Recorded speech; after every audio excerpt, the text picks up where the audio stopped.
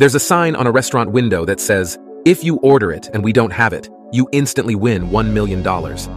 A man walking by notices the sign and walks in the restaurant and sits down at the table with a smirk on his face.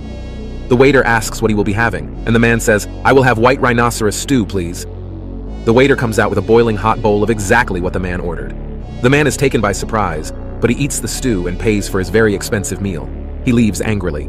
The next day, he comes back and sits at the table with a smirk on his face again. He tells the waiter, Today I will have bullet ants stuffed with dolphin meat. The waiter leaves and quickly comes back after a few minutes with exactly what the man ordered. The man, surprised again, eats his meal angrily, pays, and leaves. The next day he comes back and sits at the table and tells the waiter, Today, I will have a mermaid breast sandwich. A few minutes go by and the waiter comes out holding two massive duffel bags with the $1 million. The man, overcome with excitement, says, I knew you wouldn't have mermaid breast. The waiter tells him politely, We actually do, sir. We just ran out of bread.